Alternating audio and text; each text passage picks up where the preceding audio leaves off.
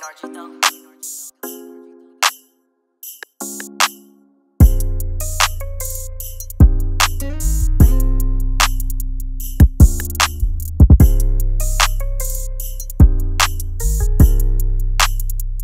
So what's going on, guys? This is our next episode of VUI, episode number two, and right now I'm with my boy Marcus. For Uh, and first, I want to appreciate you, uh, you know, supporting the brand, supporting the business for me. You know, it really means a lot. You know, I mean, coming from you, you know, you. know, I wanted to talk about, you know, what's the next move? What, what's the move that you think, you know, maybe you should do if, you know, to stop feeling when you're feeling depressed or feeling down? What's a what's a great option for you to, you know, turn that turn that around? Money. It's all about money. Mm-hmm.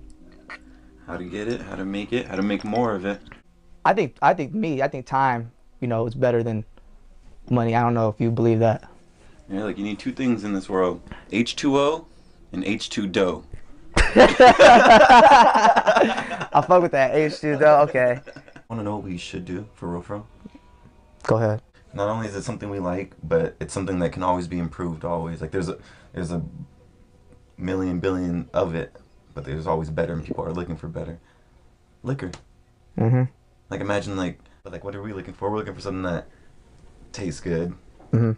something that doesn't give you a hangover. Right, that's- believe That's know, you Yep. buy into That's that, 100.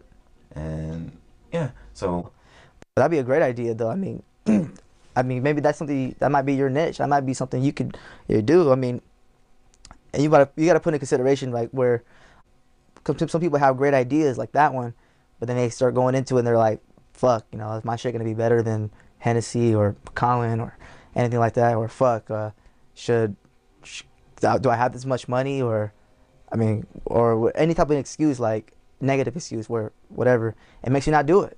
You just got to go do it. That's what I did with this shit. I didn't think about, oh, I'm gonna go against these people, or oh, I just said fuck it. How do I buy it?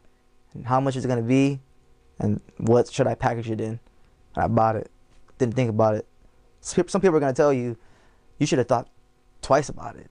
But those are people that don't do that don't do anything. So you gotta just buy it. Fuck it. Buy it and sell it. that's amazing. Where do you get the money to even start? Not most people who are I heard that line too. I think I'm a bit realistic though on that was you gotta find um either you gotta chop down a price. If that price is like in your budget, then hit it. But let's just say if it's out of your budget, then you gotta find something different and still have that liquor shit in your goal in your head and try to like, okay, let's just start building some capital from different places and then boom, hit that that liquor idea and then then you can get going to what I just said, the the, the path. Just buy it, fuck it, and sell it. So you gotta find maybe find something different, find something a little smaller that can give you some uh, capital. Maybe it could be through a job, but maybe it could be something else, a job and something else. So that, that would be like that would be the best way I would say. maybe that's how the rich get richer, the poor stay poor. I mean, who knows? I mean, don't have it. The rich have it, so they can take that shot. You can risk it. If you lose it, you still got it. If you hit, you make even more. Yeah, poor can't. You don't have it to even attempt. yeah. And if you do have it, and you know this is your one shot, and you Mhm. fail, you're SOL. What do you do now? You're back to being broke, and you just lost some money. Well, yeah, it's one of those things where like uh, you fail sometimes, or you got to keep going. Like it's that's it's the same shit. Like if this underwear shit's gonna fail, and I'm I'm the one. I'm the first. I think I'm probably the first one because people are talking about, people don't ever put their their failures on social media. They like to put their successes, and that's what makes people feel like, damn, he's successful, but they never you know really post their failures. I'm posting this, and uh, you know, fuck it. If uh, this shit don't work out, I'm gonna scrap it up and do something different. You gotta have that mentality. It's all the mentality you have. So it's like, you know, fuck it. I'm, at least I'm trying. You're failing forward. You're like, oh, that's not working, but this worked. So maybe I can apply that to my next my next venture. So it's like, you know, you keep doing that repetitively, and you're gonna be going somewhere different because you're learning while you're growing. You know. That's true. And I already know you, you you're ready to go. You just need to find that niche or whatever it is. Just go, like go for it. Like that's what I did. I wanted to just like hurry up, hurry up and do something. Like this is not this is not it. And I was like, and I found the idea and I said, fuck it, doing that. I didn't even think about it. Some people are gonna tell you you should have thought twice about it, but Nah, man, those people don't do anything. If you think twice about it, you gotta just do it. Like trying something just like shooting for the stars type thing. What would you do? Oh, like, a me- like a venture. I would want to be. If I go back, I would attempt to be a DJ, like a. Thing. That's what I would do. That's what I wish I could do. Yeah, that'd be dope. That'd be a dope job. Look at Like- DJ Pauly D. He gets paid like 50k every every fucking venue he's at. Fuck. What? 26? Can't do it. No, see, here's what I'm saying. Yeah, you. It doesn't matter what the age though. You can do it whenever you want. You can start tomorrow. I don't think you should. You can ever put whatever you want. A, you can ever put a date on it. You can. It can happen in your 50s, in your 40s. You might be bored. You say, "Fuck it, I'm gonna do something different. I'm bored of this." Yeah. But I mean, you. I think. I think people our age get all like, "Well, this is life. Getting over it. This is uh pretty much it. Uh, black and white. I mean, people people don't start getting really really too wealthy until their 30s. 2 Chainz was fucking known at 32, 31. Um, but like you can you could be still you can still be a DJ. You just gotta have that in your mind. Like like you just gotta have it in your mind. Like I'm gonna be a DJ. I'm gonna be a DJ, and you're not doing anything, but you're still saying to yourself, "I'm gonna be a DJ, DJ, DJ." Your actions are gonna eventually follow. Like I'm, just keep telling yourself, "I'm I'm gonna do this. This is my shit." People are gonna say, "No, you're not. You're not."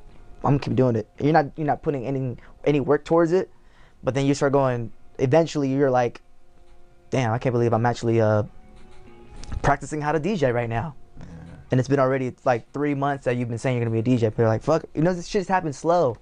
You gotta be patient. You gotta be patient, and all of a sudden your actions just start following your words, and you're just like, damn, that's the power of just telling yourself, I'm gonna be a DJ. I'm gonna be a DJ, and you start doing it.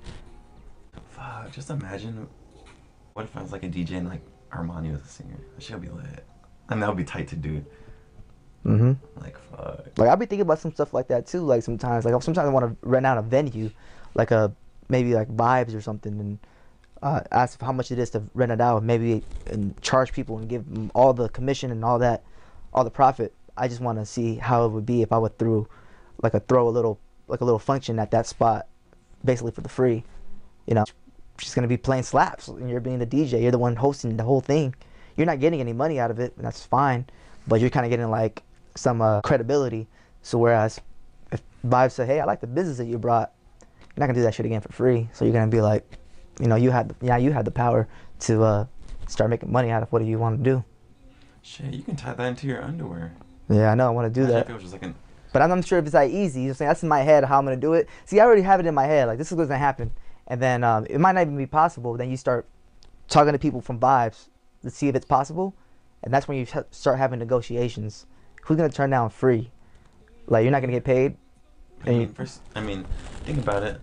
Like, you don't have to start that big yet. I mean, not saying that that's huge, but I mean, Yeah, like, imagine when you were doing your little bone shit back in the day. yeah, yeah. You were throwing a party. It was all word of mouth, really. It was just. It a party. was. It got huge. So, But yeah, man, you know, it was nice talking some, uh, you know, some some knowledge with you with some good content, and how I'm gonna up the show is like, you know, if you can give me give you know people who is watching maybe three top, you know, maybe ideas, success tips, or whatever whatever you think that's that would be helpful.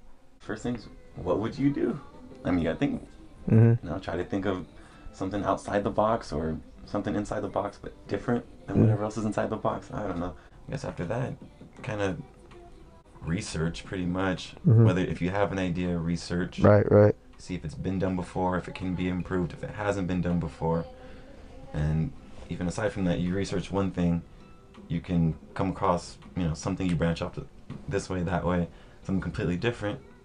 And, you know, the one thing that you initially started with is no longer a thought and you're, you're onto something new. And if we're going to be cliche, take the jump. I mean, just go for it. Mm. Wayne Gretzky, Mm-hmm. And I quote, don't quote me. I think it was, you miss 100% of the shots you don't take. Big facts, big facts. All right, bro. You know, I would appreciate you coming on the show for me. Uh, you know, for the second episode of VUI, vibing, vibing underneath the influence. You know, that was really uh some great content.